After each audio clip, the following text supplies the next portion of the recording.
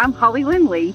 Uh, I am a professor in mathematics and statistics education. In my research, I focus on um, the teaching and learning of statistics, of probability, of data science. There's data all around us. I mean, students use and, and people in the world use data every day to make decisions about their fitness and their health, to help them shop at the grocery store, to think about recommendations from Amazon of what they're going to purchase. I like to think about being literate with data means understanding the entire life cycle of data. Where does it come from? Why was it collected? Who collected it? For what purpose? How is it processed? How is it analyzed?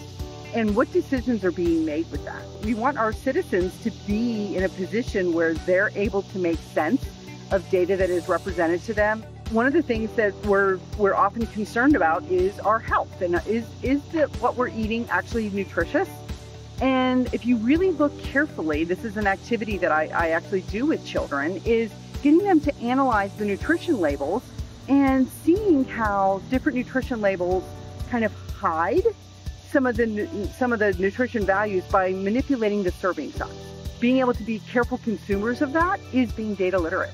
Data visualizations that are in the media, statistics that are in the media, bringing those into the classroom and just having a starter conversation around them, showing them a graph and asking them, why do you think the news reporter created this data visualization? What story is it trying to tell? And those kind of lessons could be in an English class. Those kinds of lessons could be in a social studies class, in a science class.